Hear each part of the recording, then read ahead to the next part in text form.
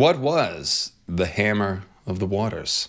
Was it an earthquake, a flood, a little of both, or perhaps something far worse? Or are the maesters ever skeptical, perhaps correct in their assertion that the real culprit for the sinking of the Arm of Dorne was simply gradual sea level rise? Not very exciting, but it does happen. And if the Hammer of the Waters was a great cataclysm, a sudden disaster, was it in fact called down by the green seers of the children of the forest, as legend says? Did the children really conduct some sort of horrific act of mass blood sacrifice and blood magic on the Isle of Faces, again, as legend says? And what about the conflicts in the legends where some say the hammer was called down not from the Isle of Faces, but instead from Moat Cailin, which, by the way, is the weirdest place in Westeros? Were there perhaps two separate hammer events, or were the neck and the arm of Dorne perhaps flooded at the same time? Was the neck even flooded at all, or maybe has it always been a swamp? And what about the Iron Islands, where we have legends of floods and potential signs of cataclysm lurking about as well? And why is this Disaster Hunters of Ancient Westeros exploration that we're about to do going to lead us to discover the secrets of the uber mysterious oily black stone? Well, you better watch this video and find out because this is my absolute wheelhouse right here, and we're not even going to use symbolism that, that much.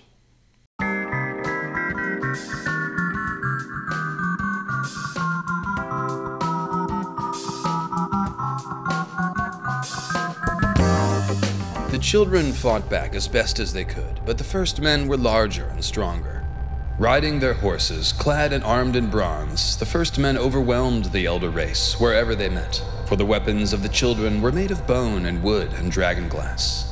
Finally, driven by desperation, the little people turned to sorcery and beseeched their green seers to stem the tide of these invaders. And so they did, gathering in their hundreds, some say, on the Isle of Faces, and calling on their old gods with song and prayer and grisly sacrifice. A thousand captive men were fed to the weirwoods, one version of the tale goes, whilst another claims the children used the blood of their own young. And the old gods stirred, and giants awoke in the earth, and all of Westeros shook and trembled. Great cracks appeared in the earth, and the hills and mountains collapsed and were swallowed up. And then the seas came rushing in, and the arm of Dorn was broken and shattered by the force of the water, until only a few bare rocky islands remained above the waves. The summer sea joined the narrow sea, and the bridge between Essos and Westeros vanished for all time. Or so the legend says.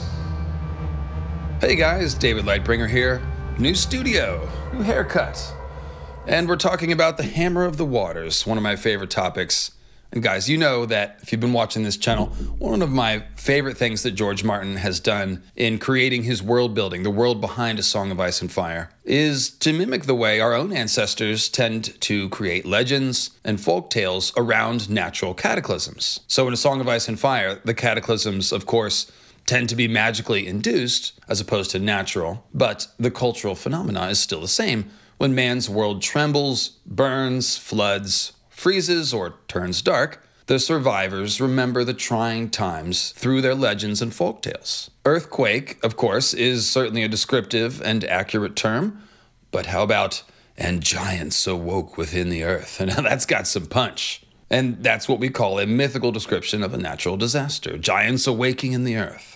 The Long Night, of course, is the disaster of all disasters, and as we learned in the World of Ice and Fire back in late 2014, uh, the Long Night was apparently experienced throughout the known world. Or perhaps we might say, throughout the half of the northern hemisphere that we see on the big map from the lands of Ice and Fire. That's right, in case you didn't hear, the Long Night was not just a Westeros thing. The Rhoynish experienced it in western Essos, and then the Yitish and the Asshai also experienced it in far eastern Essos. And somewhat further south of Westeros, it should be noted. So, this really is either a global winter and darkness or at least a northern hemisphere winter and darkness. And thus, we can look past the more exotic and colorful details of stories about the others and the last hero, or the Yitish story of the woman with the monkey's tail, or the Rhoynish one about the turtle and the crab gods singing a secret song to bring back the sun. That's a good one. Um, and observe that yes, some sort of global winter did occur thousands of years in the past, one that was significant enough to stand out in the cultural memory of people all around the world. So it definitely happened. Now, the Hammer of the Waters, the collapse of the land bridge between Westeros and Essos, which was known as the Arm of Dorne and is now known as the Broken Arm of Dorne, titles, titles, is another such disaster legend. And it's really the only thing that you can compare to the Long Night, apart from the far more recent Doom of Valyria, which actually qualifies as a historical event since we have eyewitness accounts on record as opposed to 8,000 year old legends and folktales. So the Hammer of the Waters wasn't quite a global event like the Long Night, although we will talk about the ramifications of altering the major ocean currents later. Uh, the Hammer was a very large regional event, and thus we can use the same sort of disaster hunter approach that we just did for the Long Night to try to begin to determine what actually may have happened here. For example, the first question about the Hammer of the Waters is posed to us by the Maesters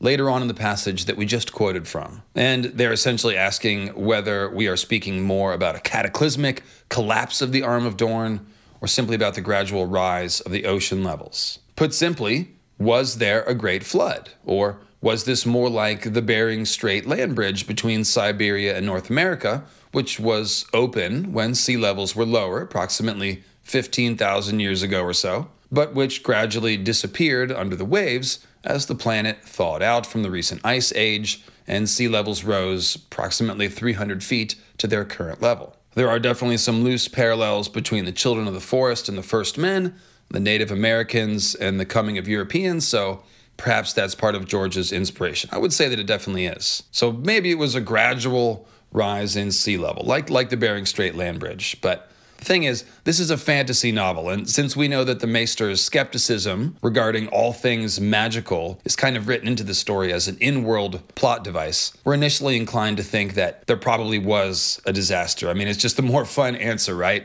And it's kind of consistent with the Maesters not believing in the others, or prophecy, or that sort of thing. But we want a better answer than that, right? Not just disagreeing with the Maesters because the Maesters are usually wrong about magic well, good news. Uh, there's one to be found in another nearby legend, which is that of Durran Godsgrief, Fair Elenei, and the founding of Storm's End. This is one of the best ancient legends that George has written for his own world, and it comes from a Catelyn chapter of A Clash of Kings. Now, as you listen to this, try to think like a historical disaster hunter, if you will, and look for bits of the story that might be usable information about what really happened. The song said that Storm's End had been raised in ancient days by Durran, the first Storm King, who had won the love of fair Elenei, daughter of the sea god and the goddess of the wind.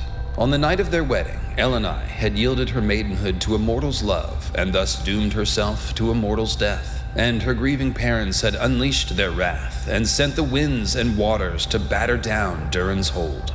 His friends and brothers and wedding guests were crushed beneath collapsing walls or blown out to sea. But Elenei sheltered Durran within her arms, so he took no harm. And when the dawn came at last, he declared war upon the gods and vowed to rebuild. Five more castles he built, each larger and stronger than the last, only to see them smashed asunder when the gale winds came howling up Shipbreaker Bay, driving great walls of water before them. His lords pleaded with him to build inland. His priests told him that he must placate the gods by giving Elenei back to the sea. Even his small folk begged him to relent. Durran would have none of it. A seventh castle he raised, most massive of all. Some said the children of the forest helped him build it, shaping the stones with magic. Others claimed that a small boy told him what he must do, a boy who would grow to be Bran the Builder.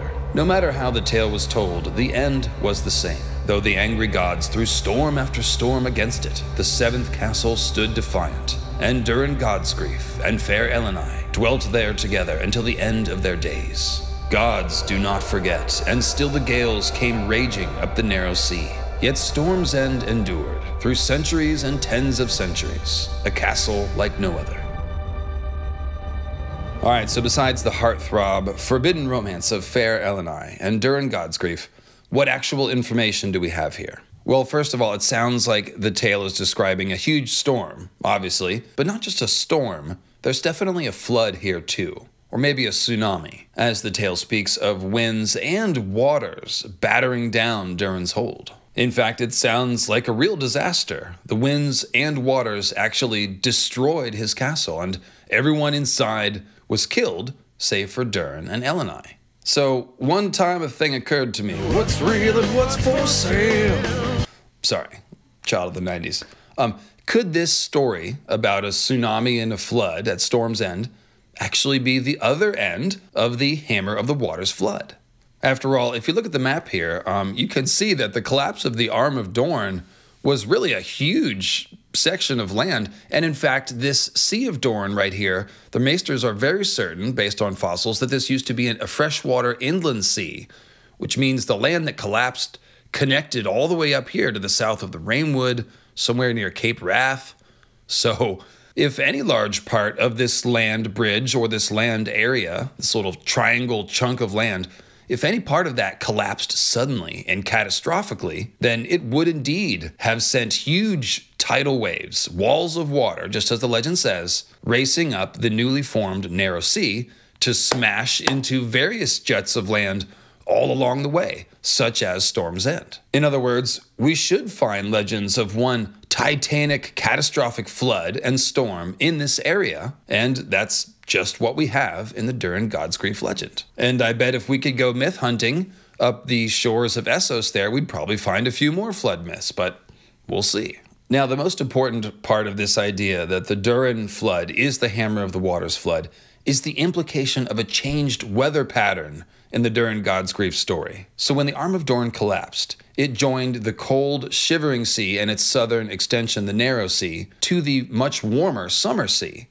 and that would have permanently altered the weather patterns of the area and actually the entire world. I mean, just think of our own mid Atlantic current, which is basically the only reason why Europe isn't as cold as Canada. And of course, if that current or system of currents ever were to collapse due to climate change, then Europe could get much, much colder. So, back over in Westeros, uh, we have a very dramatic example here of changing ocean currents when these two seas met and put the ocean motion to the potion when they mingled their waters like Absu and Tiamat of Babylonian legend. That's right, mingling of the waters. It's, it's very sexy. And this would indeed have permanently altered the weather of the Narrow Sea in particular, just as is recorded in the Durran Godsgrief legend. And what I mean is that there was first one big storm and flood, and then, ever after, the storms came raging up the Narrow Sea. So it's, it's a changed weather pattern that comes after the cataclysm. And that's exactly what we'd expect to find if the Hammer of the Waters event involved a sudden collapse of the Arm of Dorne. So that's pretty much a disaster hunter home run. It seems there was some sort of sudden land collapse and a subsequent tsunami in this area, which was then followed by a permanent alteration of the weather patterns due to the change in the ocean currents. Now, as I mentioned at the beginning, the Hammer of the Waters legend is also associated with the neck and Moat Cailin. Specifically, it is suggested that a Hammer of the Waters event is what turned the neck into an inhospitable, boggy swamp that only the Crannogmen can survive in for any length of time. At the northern end of the neck swamp sits Moat Cailin, one of my favorite places, by the way. It just couldn't be any cooler. And Moat Cailin is, of course, a largely ruined black stone fortress built out of huge basalt megaliths, many of which, or most of which, are now scattered about the swamp. Some legends say that the hammer, either the hammer of the waters or second hammer, it's actually unclear, was called down by the children of the forest from one of the three surviving towers of Moat Cailin, the Children's Tower, and then flooded the neck and broke Westeros in two. Now, it's kind of hard to picture the children of the forest living inside the black stone walls of Moat Cailin.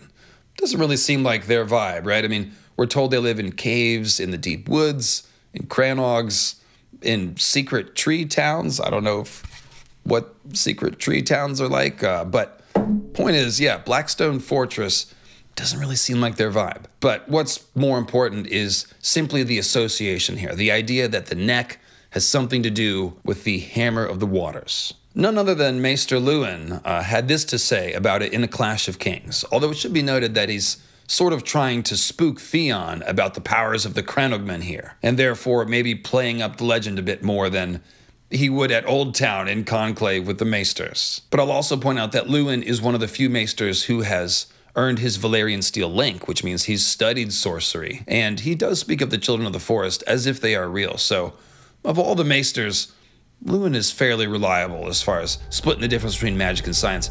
Anyway, here's what he has to say to Theon. Theon was about to tell him what he ought to do with his wet nurse's fable when Maester Luwin spoke up. The histories say the Crannog men grew close to the children of the forest in the days when the Greenseers tried to bring the Hammer of the Waters down upon the neck. It may be that they have secret knowledge. Suddenly, the wood seemed a deal darker than it had a moment before, as if a cloud had passed before the sun. It was one thing to have some fool boy spouting folly, but maesters were supposed to be wise. So this really is a pretty funny scene. I'm, I mean, the skeptical maesters using old legends to frighten the bad little children. It's kind of almost like he learned a thing or two from Old Nan at Winterfell, right? Anyway, this is the only place, actually, where it's suggested that the Hammer of the Waters also affected the neck save for a passage in A Dance with Dragons where Theon essentially quotes Maester Luwin in his inner monologue when he goes back to Moat Cailin. But we can assume this is the consensus wisdom of the Citadel if Maester Luwin is saying it, based on the legends that they've collected. So, guys, the next video in this series is going to focus on Moat Cailin. I'm really, it's already written. I'm very excited. I might record it tomorrow night. In any case, Moat Cailin, that's right, weird ass place that it is. We're going to talk all about it. So I'm going to save the deep dive into the swamps and Crannogs for then. But for now, it's sufficient to simply consider that there are legends that the Hammer of the Waters was brought down not only on the arm, but also on the neck. This suggests that one, the neck may have once upon a time not been a swamp, and that it was flooded at some point in the ancient past, and that two, this flooding may be connected to the destruction of the arm of Dorne that is associated with the Hammer of the Waters. It's important to realize that tsunami waves can travel a very long distance, all the way across large oceans, as we saw with the Indonesian earthquake and tsunami of 2004. At least those of you who are a little older in the audience, some of you guys may have just been born around. God, I'm old. Anyways, the point is that while the neck isn't in the direct line of fire of the worst of the Hammer of the Waters tsunami waves, it still certainly could have been flooded with salty seawater if it was already a low-lying area. Seawater flooding can in fact create a what's called a saltwater marsh. So maybe if there's some biologists in the uh, in the audience, you can tell me if the descriptions of the flora and fauna in the neck suggest that it is a saltwater marsh or not. It doesn't say. That'd be interesting to note. But yeah, seawater flooding can create a marshland. That absolutely is a real thing. So, again, we'll go deeper into the marshlands, into the bogs of the neck, and the deep and dark history of Moat Cailin. Did I say deep? Did I say deep ones? Uh, but I did want to point out now that the, the neck could be related to the hammer so that you can see that there is more potential evidence of cataclysmic flooding of the Narrow Sea, even beyond the Durran Godsgrief myth. There's also the Iron Islands to deal with in a subsequent video in this series. The Iron Islands is on a parallel latitude to the neck, and there's lots of signs of flooding and cataclysm there, legends of flooding. So, yeah, we'll talk about that as well. We're not done with the broken arm of Dorne and the hammer of the waters, so let's talk about men who wear antler hats. That's right, men who wear antler hats. They're the ones who did it. In both stories, actually the Hammer of the Waters legend, and the Durran Godsgrief legend. That's right, not only do the two stories appear to describe the same flood, they also describe the same headgear, the same cosplay, if you will. At least that's what the Maesters say is the truth behind the Green Men cosplay. Surely, they say, there, there are no green skinned, fawn like humanoids with antlers on their heads and magic powers that ride elks. That's, that's silly. Uh, the brand believes it, but uh, the Maesters do not. I mean, that'd just be too much fun, wouldn't it? Whether the Green Men still survive on their isle is not clear, although there is the occasional account of some foolhardy young riverlord taking a boat to the isle and catching a sight of them before winds rise up or a flock of ravens drives him away. The nursery tales claiming that they are horned and have dark green skin is a corruption of the likely truth, which is that the green men wore green garments and horned headdresses. So, like I said, it's just really, really cool shamanic cosplay. All the green seers on the Isle of Faces cosplay as Garth the Green, just like I do, right? Okay, so to be serious, there probably are green men, whatever they are, on the Isle of Faces. And actually, check out my Secret Origins of the Green Men trilogy of videos for my best Green Man theories. We go to the Isle of Langs, all kinds of cool stuff. In any case, we don't need to figure out the truth of the Green Men for right now. Here's what's important the Durrandon Storm Kings have been known for cosplaying green men. And here I'm not kidding in the slightest. Although they wear yellow and black instead of green, the Durrandon kings wore both antlered crowns and antlered helms, like King Robert. And of course, recall that House Baratheon adopted the traditions of the Durrandon kings wholesale when they took over Storm's End and House Durrandon. Orys Baratheon, the bastard brother of King Aegon the Conqueror, uh, married the daughter of the last Durrandon Storm King and then took up their sigil, their colors, and the tradition of the antlered crowns and helms. So all of that stuff comes from the original Durrandon line of kings centuries and centuries ago. So this is actually cosplay, just as people dress up like Daenerys to be imbued with some of the power of Daenerys. The Durrandon kings, this is more serious. This is religious cosplay. Um, they no doubt wore antlers on their heads to convey their sort of divine authority, because the Garth the Green and Green Man tradition does appear to be the oldest religion in Westeros, to use that term loosely, because of course this is all based on actual magic. But yeah, that's the point of dressing up like a stag man to convey the divine power of the green men. And Garth the Green himself gave rise to a line of green kings of House Gardener. So perhaps Garth the Green, or at least his subsequent Gardener kings, were doing something similar, cosplaying green men to make themselves seem like like godmen, more godlike just as the ancient Durrandon kings may have done. So the Maesters, they're not entirely crazy bringing up the idea of dressing up like like stag people. It's just that in Westeros, that tradition probably goes back to actual stag people. So yeah. And just as the Reach, where the Gardener Kings and Garth the Green legends are from, is also full of legends of the Children of the Forest. There's weirwoods to be found there. Storm's End, it should be noted, is right next to a giant forest, which is full of weirwoods known as the Rainwood. And in fact, Durran Godsgrief, was said to have warred against the children of the forest in the Rainwood. Then his son Durran II supposedly gave it back to the children. So it's hard to say exactly what's going on here, but it does seem like the ancient Durrandon kings had some kind of relationship with the children of the forest. And then there's also that little bit in the Durran Godsgrief Storm's End story where Durran uh, has the children of the forest help him build Storm's End with their magic. I'll talk about that in a future video when we talk about Old Town and stuff like that. But point is, some kind of relationship here with the Children of the Forest and the Durrandon Kings. So the Durrandon Kings, it may be that they didn't just dress up as stagmen, but rather that they intermarried with the children of the forest or the green men and became skin changers and green seers. This is probably the answer. Because, of course, we know that the first men did that. The Starks, the Blackwoods, the Crannog men, other first men houses, House Crane. So if the ancient Durrandon did that, then yeah, it would be right in the pocket for the first men. So when we picture Durran Godsgrief as a green man type, either in actual fact or simply by way of cosplay, his story starts to sound a lot like the Hammer of the Water story. In the legend of the Hammer, it's green seers on the Isle of Faces who call down the hammer to smash and flood the land. And in the Durran tale, it's an antlered king who angers the gods and thereby calls down their divine wrath in the form of a titanic storm and flood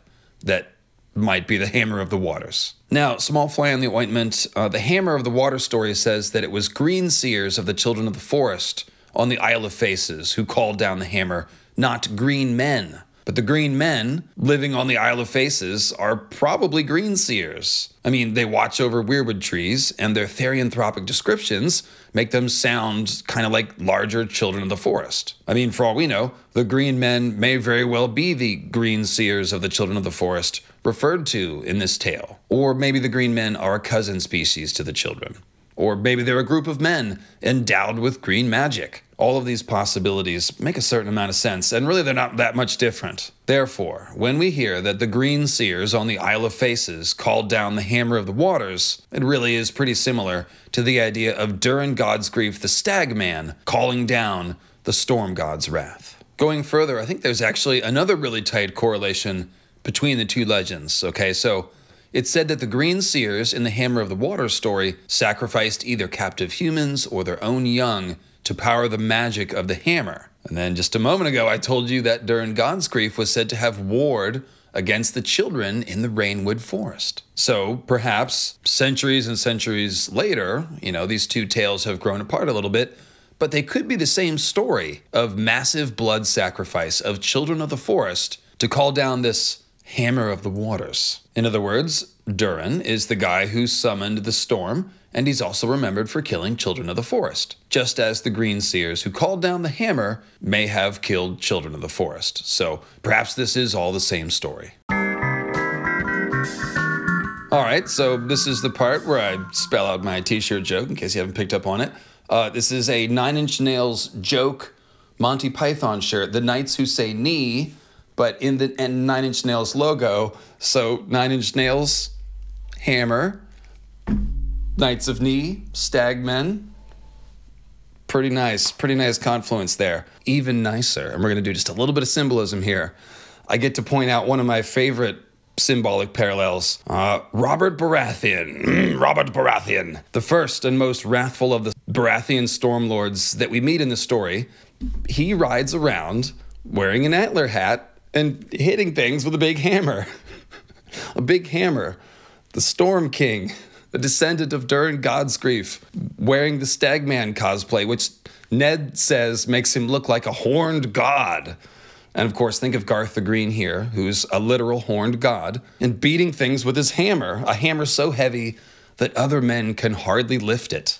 The kind of heavy, huge hammer that could batter the land. Now, the most famous time that Robert used his hammer was in the waters of the Trident. Oh, yes. So, what was the storm? Called down by Durran Godsgrief, the first Storm King, the one that battered Storm's End? Was it the hammer of the waters? Maybe, maybe. So, just to take the symbolism a little bit further, and I'll use my serious voice now. Uh, Robert's ascension to kingship was famously, or rather infamously, enabled, the way was paved by the bloodshed of children. They talk about this all the time. Rhaegar's children, obviously not children of the forest, but I do believe that that is an intentional parallel. Robert, the horned god, is absolutely a very clear parallel to Garth the Green. As I just said, Ned calls him a horned god. Uh, Robert's many bastard children and his total lack of impulse control, those are both hallmarks of horny old Garth the Green, who gets everyone pregnant and is kind of a glutton, just does whatever he wants. And when I say gets everyone pregnant, he's a fertility god. So it literally it says he makes the land bloom, he makes the ladies. Okay, I'm not. It's kind of gross, but you get the idea. He's a fertility god, just as Robert has many bastard children. Um, there's also the scene where Robert, the very first scene we meet him, he shows up to Winterfell boasting to Ned about all the bountiful delights of the flesh that come with summer, the girls, the ripe fruit. That's all Summer King stuff. You can even think of the ghost of Christmas present from the Scrooge story. That's, that's the same idea. But sticking with the Summer King thing, Robert eventually dies in his hunting greens from a wound that he took in the woods on a hunting trip. And then when he actually dies, he's cut open and laid out, essentially like a sacrificed green man or horned god. The horned god is sacrificed every year with winter, resurrected in the spring. You, hopefully, you guys know the story. And shout out to Cernunnos for, for what it's worth. So, when Robert dresses up in his antler hat and smashes his enemies with his hammer, sometimes while they're in the waters and sometimes to end a war, he's actually doing a smashing impression of the green men slash green seers on the Isle of Faces, who supposedly called down the hammer of the waters with blood sacrifice of children to end their war with the first men. But of course, Robert, again, is only wearing all that getup and calling himself the Storm King in emulation of Durran Godsgrief, the one who called down his own storm and flood, which we think may be the hammer of the waters flood just witnessed from further away. And obviously, I'm saying that the symbolism of Robert is suggesting that they are because he's basically uniting the two stories in his character. And that kind of just shows you how similar the two stories really are. And if they do, in fact, speak of the same storm and flood, it could be that the stagman calling it down part that they both have in common also has some truth to it, right? Some magical event that they're both describing that involved green men, green seer magic, children of the forest, and obviously blood sacrifice. I don't want to talk about the pact too much yet because that's going to be in a future video, but I'll just also point out that the legend of the signing of the pact also takes place on the Isle of Faces. It involves giving the weirwood trees faces, but of course, we suspect that giving a heart tree a face may involve blood sacrifice again. I'll sort all that out for you, but there are multiple legends potentially on the Isle of Faces that involve blood sacrifice, so that's probably a thing. Now, just to give you a sneak peek of the Ironborn Seastone Chair video, probably the third video, I think, in this series, I'll tell you that the towering figure in Ironborn mythology is called the Grey King, and he too may be an echo of the same storm summoning figure. Like Durran, the Grey King angers the storm god. Durran stole the daughter of the wind and sea gods, you'll recall, while the Grey King just taunts the storm god directly. It calls him names or something, I don't know. But something similar happens. The storm god lashes down with a great thunderbolt. And of course, hammers, thunder, lightning, they're all tightly associated in mythology. Of course, just think of Thor, the storm god with a hammer that shoots lightning bolts. Thunder sounds like a hammer hitting, you know, you get it. So that thunderbolt may be a reference to the Hammer of the Waters. And then later on in the Grey King's story, after the Grey King's death, the storm god drowns his palace and all his fine treasures, so there's the implication of a flood. And actually, more interesting is the tale of the Grey King slaying Naga, the first sea dragon, supposedly, who drowned whole islands in her wrath. Drowning islands is something that looks to have happened at the Iron Islands, especially at Castle Pike, the crumbling stronghold of House Greyjoy, where they keep that sea stone chair. I'll have tons to say about that uh, down the line in this series, but for now I just want to point out that this other possible echo of the Durran Godsgrief and the Hammer of the Waters legends exists over on the Iron Islands. And there's a lot more parallels potentially. Um, the Grey King takes a mermaid to wife, and Elenei, Durran's wife, was the daughter of the wind and sea gods. Uh, so she comes from the sea, and you remember that the people said, Give her back to the sea. So Elenei, some kind of mermaid or sea goddess. So that's very much a parallel to the Grey King. And there's also ample clues that the Grey King was a green seer, sitting on a throne of weirwood with a crown of weirwood. So, if Durran Godsgrief is a green seer, as I suggested, then these figures are all similar to the Green Seers who called down the hammer. The Ironborn mythology is probably George's best, it's definitely his most elaborate and detailed folklore, so look forward to that video. Like I said, probably third in the series. All right, so far we figured out that there almost certainly was a catastrophic hammer event, that it was of colossal scale, and that it involved tremendous flooding and even tsunamis capable of destroying coastal castles, or inundating low lying islands or straits of land, even large ones like the Neck. It does seem to be associated with green men, children of the forest, the magic of the weirwoods, blood magic, but as disaster hunters, we're not overly concerned with puzzling out the exact magical mechanics here. It's enough for now to simply assume that we are operating within a fantasy context, that magic does exist, and so we're not looking for purely scientific answers, just coherent ones that seem to line up with the way that George does his world building. So even if we can't say exactly how the hammer was called down, we're, we're doing pretty well. I mean, we've connected what seemed like an isolated myth, the Hammer of the Waters, to a couple of other ancient flooding events. The first storm of Durran Godsgrief, the flooding of the neck, and potentially, you know, the Iron Islands. I'll, I'll, lay out the proof for that, but trust me, that's that's part of it too. So we've built up this strong correlation between the Hammer of the Waters myth and the Durran Grief myth, right? But one thing that really strikes you at this point is that the motivation of the Hammer Summoner, the Storm Summoner character, is totally different in these two stories. In one story, we have the children of the forest at the tail end of a genocide, desperately trying to stave off eradication. And in the other, we've got this really hubristic, ambitious dude named Durran who's like, You know what woman would be worthy of me? The mermaid goddess. and who then builds seven castles in a row in what seems like kind of a bad spot to build a castle just to show his defiance to the gods. So they really are different in character as far as the motivation of the storm summoner, the antler hat wearing storm summoner. Now, here's the thing, guys. I don't think the children of the forest dropped the hammer of the waters. It just makes absolutely no sense on so many levels that the children, the nature elves, mind you, thought of destroying the earth in order to protect themselves. It's entirely against their philosophy and it's it's exactly what humans would do. So it sounds like humans projecting their own motivations onto the children. And even the Maesters point out in the World of Ice and Fire that it makes no sense for the children of the forest to break the arm of Dorne to stop the war with the First Men when the First Men were they had already crossed the arm of Dorne hundreds of years ago, and they had already populated Westeros in much larger numbers than the children. That, my friends, is a classic case of what we in the South, I'll just point out my Virginia license plate back there, what we call closing the barn doors after the horses have gotten out. And friends, if you didn't grow up near a barn, let me tell you, it doesn't do much good to shut the barn doors after the horses have escaped. You want to do that while the horses are still in the barn. So again, the Maesters point this out and just kind of shrug because they probably don't believe the children of the forest did or could do something like the Hammer of the Waters anyway.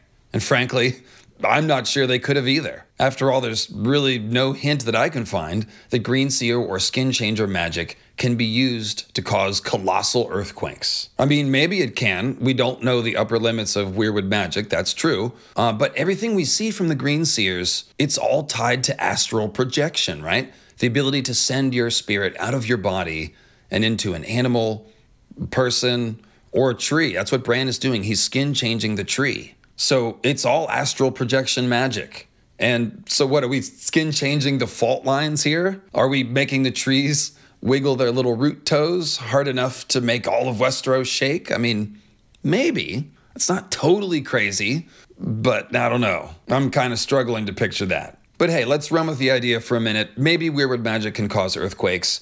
The one clue that I could sort of see is in the name of the children of the forest, which is those who sing the song of earth. Singers are what the children call their green seers, and Bran does note that their speech sounds musical, like a babbling brook, but maybe there's more to it. Maybe there's a way to sing a song that makes the earth shake kind of like the biblical story of Joshua and the walls of Jericho. And Martin was raised Catholic. It's a lot of biblical allusions in A Song of Ice and Fire. And Joshua and the walls of Jericho is definitely one of them. Uh, they blew trumpets and horns to bring down the walls of Jericho. So that seems like an inspiration for the legend of the Horn of Joramun, which is said to be able to wake giants in the earth and thus bring down the wall, the big ice wall. That's all really cool, I think, anyways, but now we've gotten away from green seers and tree magic and we're talking about magic horns. So, did the green men on the Isle of Faces blow a hundred magical horns to break the arm of Dorne? Is that a horned men blowing the horns thing? Uh, I mean, it seems like they'd have to be standing on the arm of Dorne if it's a sound vibrational thing, but maybe I'm thinking too literally. Perhaps the song of earth can cause earthquakes, and that's that. Still, it makes no sense to break the land bridge after it's been good and crossed. And it also seems inconsistent with the beliefs of the children of the forest to damage the earth so significantly to save their own skins. Again, by the time Bran meets the children in Bloodraven's cave, they say that they're content to dwindle quietly into the night, accepting of their fate, and that it is men who would fight and kill and rage against it, but not the children. So maybe in the past, they were willing to fight. They do seem to have fought, you know, for their survival thousands of years ago. So maybe it was different. Maybe their philosophy has changed over time. Uh, but damaging the earth that significantly, I don't know about that. Speaking of harming the earth, I realize I forgot my moon. Moon! Oh, that feels better, as does the removal of the hat. Folks, as I mentioned earlier, there is a notion that the flooding of the neck was actually a second attempt by the children to cut themselves off from the first men by breaking Westeros in half with a Hammer of the Waters magic event. But the idea is that this time it didn't work as well, so they were only able to flood the neck instead of collapsing the land entirely. I suppose this all makes sense if you believe that it was the children dropping hammers, the hammerses of the waterses to stop the first men, you know, because the first men were mostly south of the neck. So this time, at least, we're closing the barn doors with the horses inside the barn, if you will. However, if I'm correct that it makes no sense for them to have broken the arm of Dorne or to destroy the earth in an act of self preservation at all, then it also makes no sense to suppose that the children later flooded the neck. More likely, this was all the same flood, and that's why the Hammer of the Waters is also associated with Moat Cailin. A couple of other issues. Um, doesn't really make any sense for the children of the forest to sacrifice hundreds or even a thousand of their own children. We know the children of the forest have very small numbers, and even back then, they had much smaller numbers than the humans. So, killing a thousand of their young is such a huge setback in the war that it would invalidate whatever gains they got from dropping the hammer. Uh, and then, as far as the idea that the children gathered at Moat Cailin to drop the hammer on the neck, that doesn't make much sense because they'd be standing right where they were dropping the hammer. So they'd be hammering themselves. And I guess maybe that is an act of self sacrifice, but none of it makes sense. And that's before I really hammer home the nail in the coffin and the nine inch nail in the coffin of the, the, the idea of the children of the forest brought down the hammer of the waters with my earthquaking the ring forts routine. That's right, it's time for earthquaking the ring forts. The fun game that I've been playing here and there for the past eight years or so on forums and Reddit and wherever. So it goes like this If the children of the forest could cause targeted earthquakes, then why didn't they try earthquaking the ring forts of the first men, where the first men tended to cluster like easy targets? If it takes the sacrifice of a hundred or even a thousand captives to call down a hammer big enough to break the arm of Dorne, what about trying out smaller hammers on the ring forts first, at much less expense in blood? I'm imagining the, the planning session uh, with the children of the forest. Uh, doesn't one of those little bloodthirsty fucking elves stand up and say, like, hey guys, this is all cool, breaking the arm of Dorne and stuff, but doesn't this seem like a bit overkill? Destroying an entire land bridge. How about we just try earthquaking the ring forts first? Their voices are higher pitched, but you get the idea. So, not only would earthquaking the ring forts take down large clusters of first man warriors, it would also scare the ever loving bejesus out of them, don't you think? So, picture yourself as a first man. You're atop the ring fort in your bronze armor. You're having a snack, some salt beef, maybe some orange slices one of the team moms brought in. You're staring out into the mists, waiting for the wolves and ravens and lions and dragonglass arrows to come again, when a few of the creepy little wood elves march out into the open, slice a couple of throats, uh, then your ring fort starts shaking beneath you. A giant crevice opens up in the earth, and half your men fall in, and then the elves casually turn and walk back into the forest, or maybe they wave their arms menacingly. Uh, it's the earthquakes that are intimidating here, right? It seems like you might find somewhere else to live if you're a first man in this scenario. But we never hear about the children earthquaking any ring forts, not once. And even if you want to mention Moat Cailin as a fortress of the first men that got destroyed by a hammer, that's kind of like earthquaking a ring fort, right? Well, except that the tale says the children are the ones in the fort calling down the hammer. So it Still doesn't make any sense. There's no earthquaking the ring forts. It's just wolves and lions and bears and ravens and obsidian arrowheads. And as the histories note, the first men simply overmatched the children with their greater size and their horses and their bronze weapons. And then, out of nowhere, they summon God's own earthquake. An earthquake, we showed it on the map. It's, it's basically the equivalent of like several small countries falling into the sea at once. It's basically unfathomable. And the children of the forest did that. Really? I don't think so. What I think is that the Durran story is closer to the mark. Some sort of hubristic man, likely a magician, seeking to meddle with the primal forces of nature, and then somehow things went very wrong. This is also pretty much exactly what happens in the Grey King legend that we mentioned. It's what happens in the Azor Ahai legend, the Bloodstone Emperor legend, and several others that we'll discuss down the line. I do think blood sacrifice of children of the forest was part of it. It just wasn't other children of the forest killing children of the forest, because again, that doesn't make any sense. So I do think there was green seer magic, weirwood magic, blood sacrifice. You know, perhaps the weirwood magic was the thing that this ambitious figure was trying to control or obtain. But I think there's some other big piece of the puzzle here. Some big piece of the puzzle. Some a big piece of moon.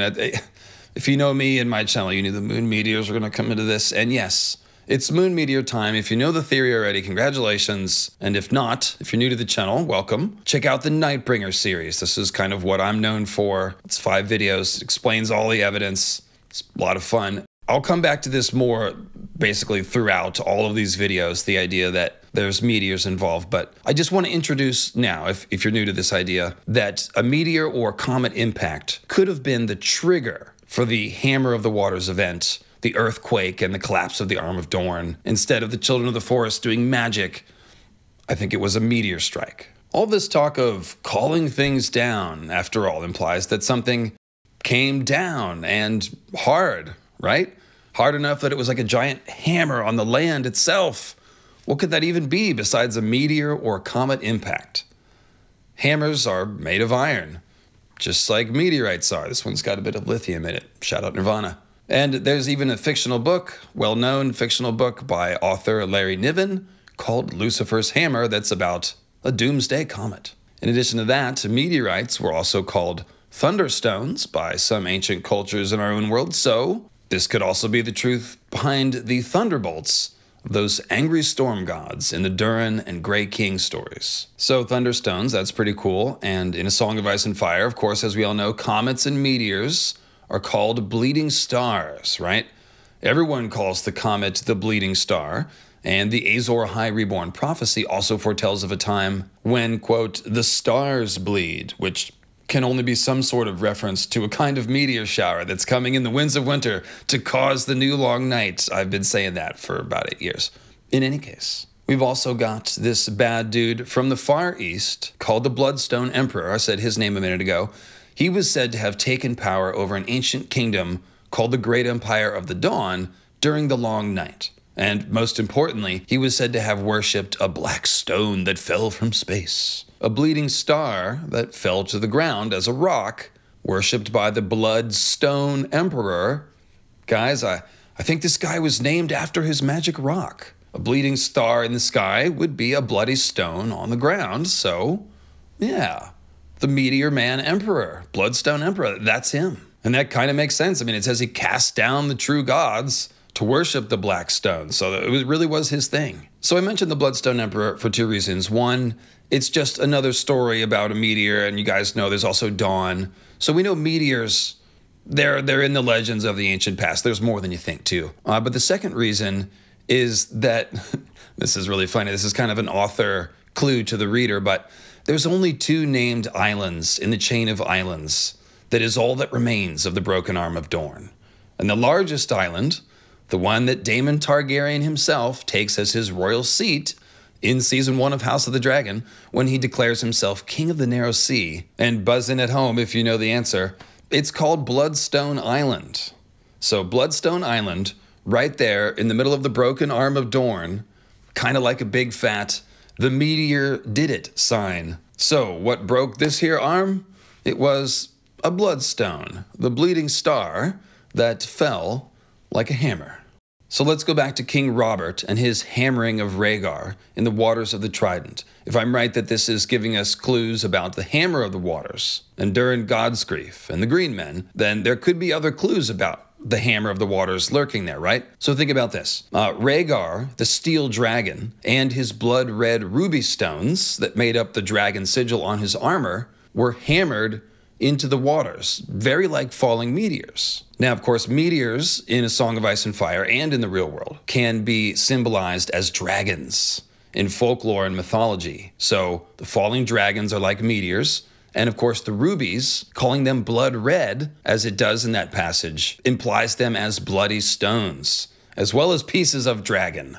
So it's kind of a double whammy as far as bloodstones and dragon meteors getting hammered into the waters by Robert. You get it, you get it. So again, I'll point out Daemon Targaryen claiming kingship on Bloodstone Island, as that's really just a way of highlighting the connection between bloodstones and dragons, and hubristic men that seek power, like Durran Godsgrief and the Bloodstone Emperor and Daemon when he declared himself king of the Narrow Sea. Daemon's dragon Caraxes is even red, just like Rhaegar's ruby dragon, for what it's worth. So if Daemon taking Bloodstone Island is meant as part of the symbolism, Well, his dragon is blood red, so there you go. And finally, Daemon also parallels the Bloodstone Emperor, who is a god emperor of the Great Empire of the Dawn, when he gives his amethyst eyed queen Rhaenyra the jade tiara of the god empress of Leng as a gift. And in case you didn't know, the Amethyst Empress, supposedly the Bloodstone Emperor's sister, possibly sister wife, and the uh, Empresses of Leng are called God Empresses. So it could be that they married the God Emperors of the Great Empire of the Dawn, since the Great Empire of the Dawn included Leng in its territory. That's uh, kind of in the weeds, but it's pretty cool parallel that involves House of the Dragon. So I thought I'd mention it. So the million dollar question, one we've been working on for a long time was this hammer really called down? Or another way of asking the question is can comets be summoned with magic in a Song of Ice and Fire? It's a huge question. Again, been talking about it for years. I think the answer is yes, as the legends suggest, and I'll make a video about that some other time with my theories on that. But whether the meteor hammer was summoned or if it just happened to fall when it did, and then legends about it arose that said people were responsible for it, or children of the forest, or whatever. That's pretty much what I got for you today. Yes, the arm of Dorne really was smashed by a giant hammer that fell from the heavens. I think that's the most logical assessment of the evidence as I've laid out, and I'll continue to provide more evidence as we go in this series. So, guys, I'll just finish by saying again how cool it is that George has constructed a lot of his old legends around these cataclysmic events that would have been experienced by multiple groups of people in different regions and then encoded in slightly different yet not so different legends and folk tales that can then be coherently assembled and analyzed as if they were real legends of floods and things from the real world. The legends just have antler hats and weirwood trees, but actually a lot of our real world folklore does, and Check out the Norse Mythology of Ice and Fire playlist for the real world Norse mythology behind the Weirwoods, Green Seers, and characters like Bloodraven, Jon, and Bran. And again, I'll steer you towards that Secret Origins of the Green Man series. It's got all the best antler hat artwork in it. And uh, cheers, friends. I'll see you next time with a video about who built Moat Cailin and why it was the Squishers.